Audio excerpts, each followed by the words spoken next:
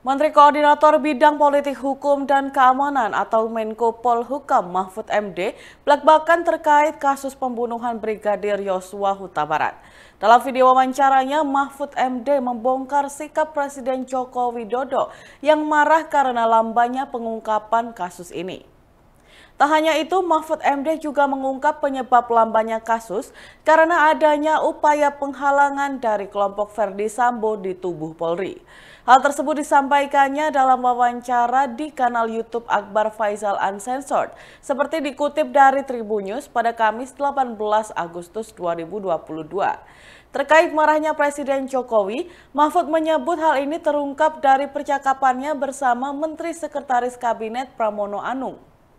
Pramono kala itu pada Mahfud mengatakan Presiden Jokowi marah lantaran kasus ini tak kunjung terungkap.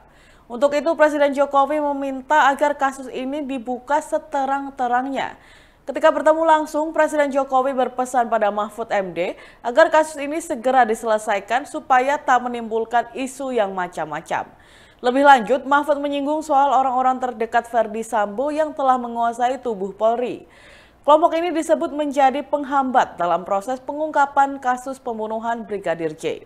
Bahkan Mahfud menyebut kelompok ini sebagai Submabes Polri.